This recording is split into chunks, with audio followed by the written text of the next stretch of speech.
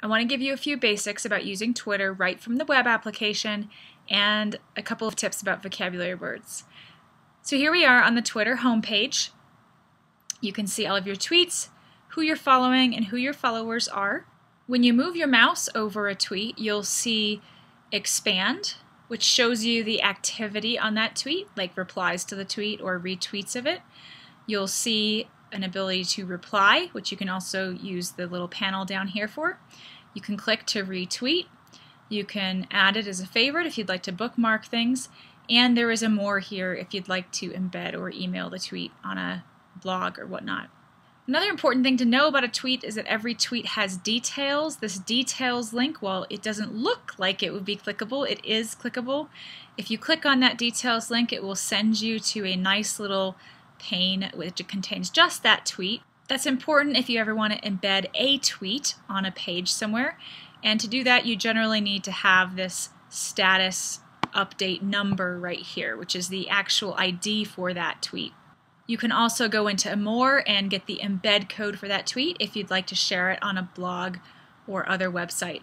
Let's start with some vocabulary. We see here an RT, which hopefully you've picked up as a retweet.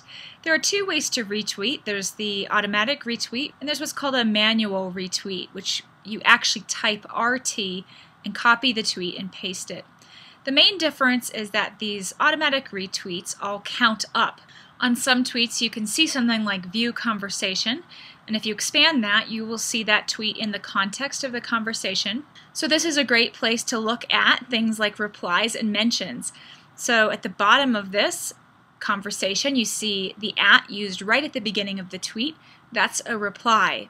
So the difference between a reply and a mention, a mention happens somewhere inside of the tweet. In the case of the second tweet and this fourth tweet, Levy recruits would see both tweets. But in the second tweet, everybody who's following Kenna would also see the tweet. Whereas with this fourth tweet, only people who follow both of them would see the tweet. So a reply happens at the beginning and is only visible to people who follow both parties. And a mention occurs in the middle somewhere or at the end and is viewable by everybody following the person who makes it. Let's go ahead and move on to the second tab at the top, which is the Connect tab. When you click on the Connect tab, you'll see all the activity that you're involved in.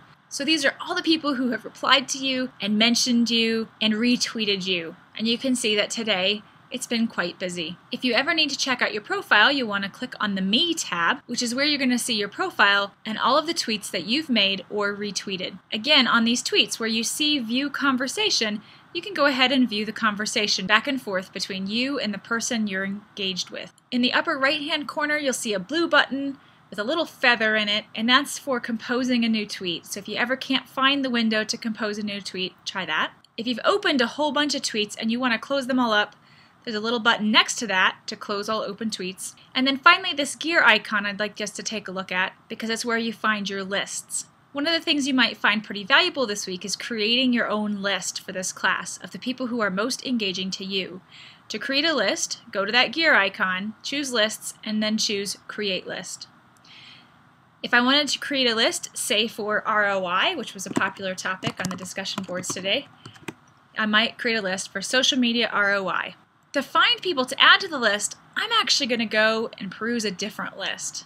So I'm going to go to one of my lists, and that's for the whole class. And when you go to somebody's list, if you're not subscribed to it, you will see a subscribe button here. So you can subscribe to the whole list without following everybody on the list. So I'm going to go ahead and look at the list members. And when I do that, I should see the bios next to everybody's picture. And this is why it's so important to have a good bio. As I browse through this page, I might look for people who do things like marketing or ROI. And keep in mind that you can also use your standard find commands on this page. So you could do a control F or a command F to pop up the little find window and then type something like marketing and that's going to highlight on the page everybody who's got a marketing bio. So then I could say, all right, well, I'm going to add this person to my list. I'm going to add them to social media ROI and then close the box. And then I'll go find the next one that's highlighted. So here's somebody else that does marketing. So I'm going to add them to my list. And I can continue down the page doing that. Remember to close your find window or you'll wonder where all the funky highlighting is coming from. So last uh, is to save a search for our hashtag. So you see here that when I click in the search window, I have this hashtag right here. For example, if I wanted to save a search for the hashtag SoMe, which is a common abbreviation for social media, I first do the search, and then in the corner you'll see a gearbox appear, and you can go ahead and save that search. And then the next time you go to this window here, you'll see SoMe on the list near CN SoMe. Also from this gearbox, after you've searched, you can remove a saved search. So let's say I now want to remove SoMe. I would go ahead and do the search for it, and then when it pulls up, I could go ahead and remove the saved search. I hope that's enough to get you going. If you have more questions, make sure to ask.